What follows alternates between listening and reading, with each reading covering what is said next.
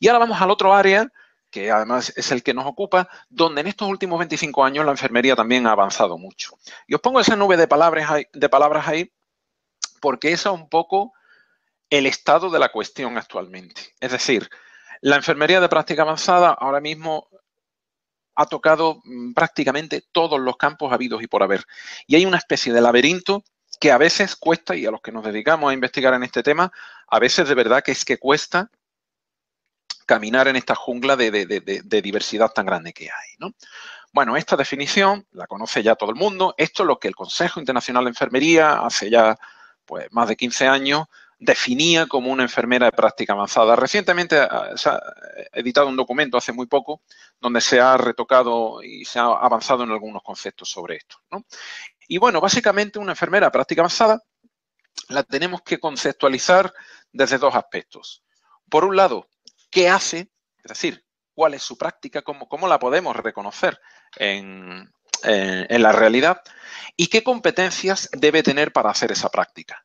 Y bueno, en la práctica es una enfermera que integra la investigación, la formación, la práctica y la gestión, que tiene un alto grado de autonomía profesional, en muchísimos casos tiene una práctica independiente, tiene su propia cartera de pacientes, gestiona sus propios casos en muchísimas ocasiones, ofrece servicios de consultoría a otros proveedores de salud, suele tener unas habilidades muy avanzadas de valoración del estado de salud, de toma de decisiones, de razonamiento diagnóstico, suele tener también un reconocimiento por parte de otros muy eh, elevado de su competencia clínica y en algunos casos, como ahora eh, pondré algunos ejemplos, suele ser punto de entrada al sistema sanitario reconocido por los ciudadanos. Es decir, no solamente accedo al sistema sanitario por la vía del médico de familia, sino que en algunas ocasiones lo puedo hacer a través de la enfermera práctica avanzada.